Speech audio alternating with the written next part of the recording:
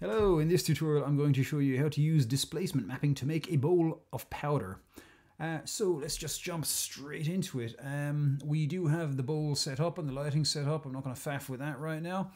But what's missing is obviously the, the powder texture. So I have some geometry here. I'll just show you uh, which one. Yeah. So that geometry is quite is quite uh, fine. It's very fine geometry. I don't know if you can see that there. Um, but yeah, that's the, uh, the geometry. So with displacement mapping, you will tend to need to have a lot of geometry or, or like more than say the standard amount because obviously the displacement mapping relies on kind of um, sub polygon displacement at times. So that's just you know something to bear in mind. If you're getting bad results, you might want to check your mesh.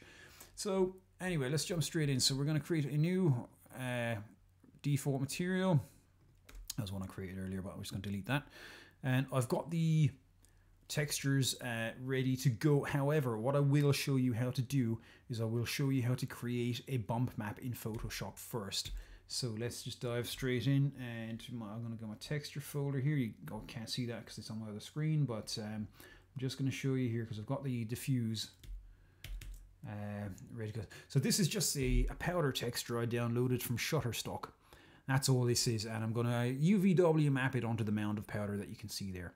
So the next thing I'm going to do is, um, obviously I've saved this. This is my diffuse, so this is just going to plug straight into my, my uh, base channel. And then we're going to need to use a bump map as well. Um, I'm going to use the bump map for the bump map and also the displacement. So just bear with me while we get this sorted out. Um, so what we need to do to create a bump map is we go in Photoshop, we go filter, 3D and we've got the option here to generate a bump map or generate a normal map. I'm going to use a bump map for this tutorial. I don't need, really need a normal map, but you can generate them from this panel as well, just so just to bear that in mind. And so here's our bump map ready to go. When you hit OK, and you just save that down and call it bump map as opposed to diffuse map. I'll show you my texture folder here. I was working on a project earlier that needed this, so this is why I'm making this tutorial. So here you go, look. Uh, powder bump, this is for Black Maca product uh, powder of the bump and the diffuse. They're just in there ready to fly. So we'll close Photoshop now that we've done that. Don't need to save that. And we'll hide Photoshop and jump back into Cinema 4D. Right, so now we've got our mat set up. There's a few steps we need to take in order to enable uh, the displacement mapping. I seem to be having trouble remembering that today, which is weird.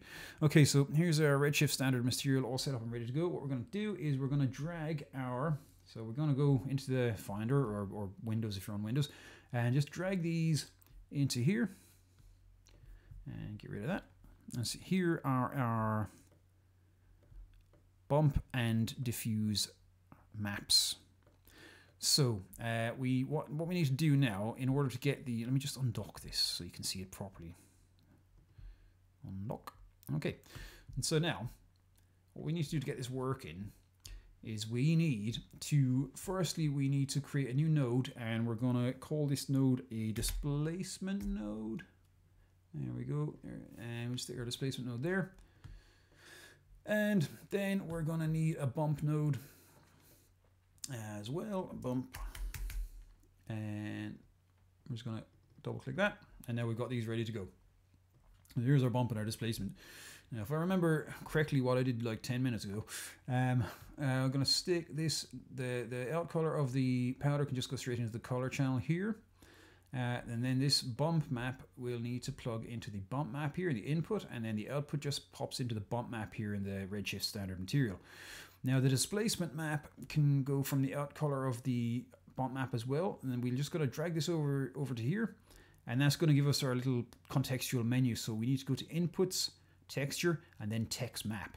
And That will then create a texture map out of the, the bump map and then we can just pop the out channel. We can bypass the redshift standard material and go straight into the displacement map here. And that will give us our basic node setup that we need to do the displacement mapping. And so what we'll do is we will drag this. This won't work straight away. We need to add a redshift tag to the object itself as well. But for now, we're just going to drag this up here onto the default. Uh, the default is just the amount of powder. I'm too lazy to name my objects. And so here we have our uh, texture, which is applied. And we've kind of got uh, a rudimentary mound of powder. but we can obviously do a little bit better than that, you know. And so I'll just, what I'll do is I'll just re-click on that to get my startup layout back.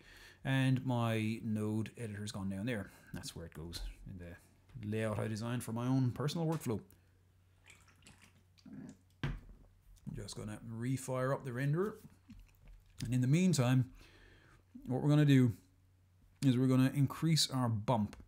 So the bump here, I'd stick this up to about, so click on the bump map node and the height scale here, I'd stick up this up to about, I don't know, six or seven. Let's, let's just go for eight. Let's go crazy. And so now we see a little bit of difference here in how the bump is uh, behaving. You can see here, um, obviously the, the roughness as well, because this is powder. Um, it wouldn't be quite shiny, so we can turn the roughness up just to scatter the light a bit more appropriately than what it would be if it was shiny, so we don't really want it to be shiny. And now, uh, we have our displacement map set up and ready to go here. Um, we've got our scale, uh, we can change the scale of this and stuff, but the, the main thing we need to do is go to our, we will right click or double finger click because we use a trackpad, and we will go to render tags and RS object and now we click on the RS object tag and click on geometry. Okay we need to click the override checkbox and now we need to go down here. Let me just make sure you can see this. Yep cool. And we'll enable displacement. And so now nothing much is happening because we haven't we haven't really amped it up we need to uh, those are rookie numbers we need to pump those up so uh, I know I did that wrong, so yeah, sorry, sorry, sorry. Um, we're just to go in our displacement and we're just, we can mess around here with the, the maximum displacement and the displacement scale. I tend to just, I don't really know what they do, to be honest. I just, I just slide them and they do stuff, which is wonderful. As an artist, you don't really want to do too much thinking. So, so if you if you turn them up too high, it does that. Um, that's not really what we want, but it looks kind of grotesque. So now let's just crank this down a bit and see what happens. You know, just, just play around with it. You can see here we've got something resembling a, a bowl of powder. Uh, yeah, and there we go. So we're just to crank that down a tiny bit more. Tiny, tiny bit more.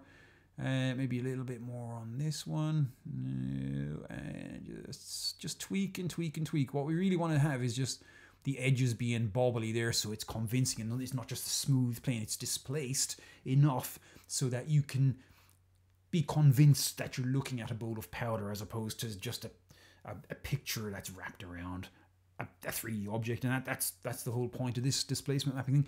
Um, I will do another tutorial. I need to do some investigation to see if you can actually bake the displacement, but personally I'd be inclined not to do that because it'll probably generate a massive file. You've got loads of geometry going on anyway, and I think that'd be inefficient but perhaps there's a use case for for it that I'm kind of unaware of in my in my basic kind of workflows that I do from day to day. So you know, if there is that, feel free to comment and and educate me. That'll be groovy.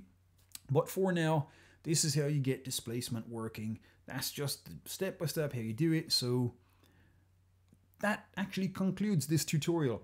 If you've enjoyed it and you found value in it, I've always appreciate a like and subscribe. And I do appreciate also the fact that you're here to learn and, and yeah, this is just yeah, this is awesome. So with that, I bid you all the best with your creative journey. God bless you and bye bye. Take care, and I'll see you in the next one.